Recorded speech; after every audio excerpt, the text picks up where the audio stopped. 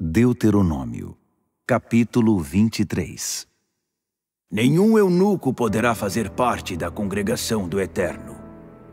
Nenhum filho bastardo poderá entrar na congregação do Eterno até a décima geração, tampouco seus filhos.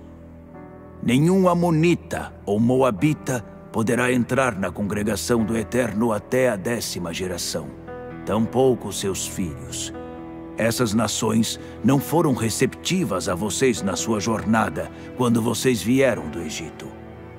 Além disso, contrataram Balaão, filho de Beor, de Petor, na Mesopotâmia, para amaldiçoar vocês. O Eterno, seu Deus, se recusou a dar ouvidos a Balaão, mas transformou a maldição em bênção. Como o Eterno ama vocês. Não façam nenhuma espécie de acordo com eles, nem coisa alguma por eles. Nunca.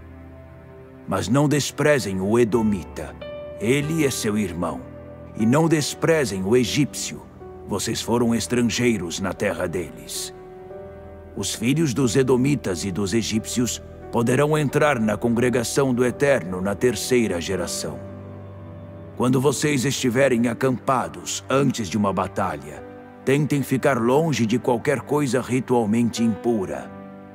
Se algum dos seus homens se tornou ritualmente impuro por causa de poluição noturna, ele precisará sair do acampamento e ficar ali até o entardecer.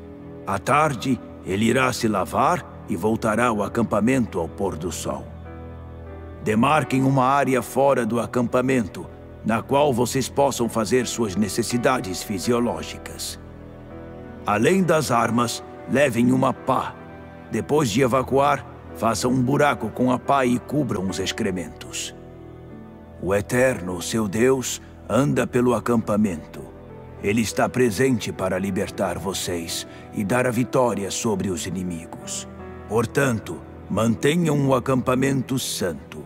Não tolerem nada que seja indecente ou ofensivo aos olhos do Eterno. Não devolvam o escravo fugitivo ao seu senhor.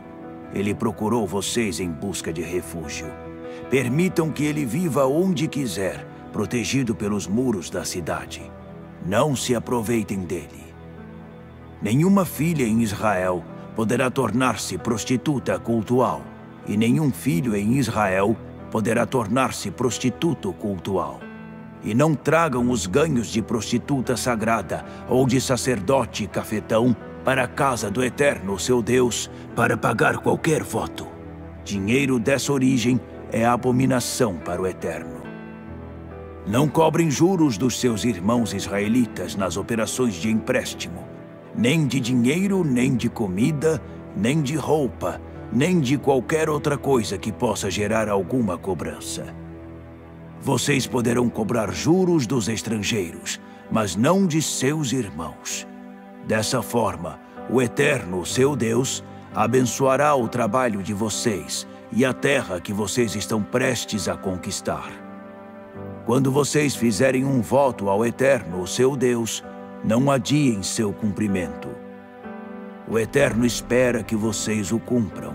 Se não o fizerem, serão culpados.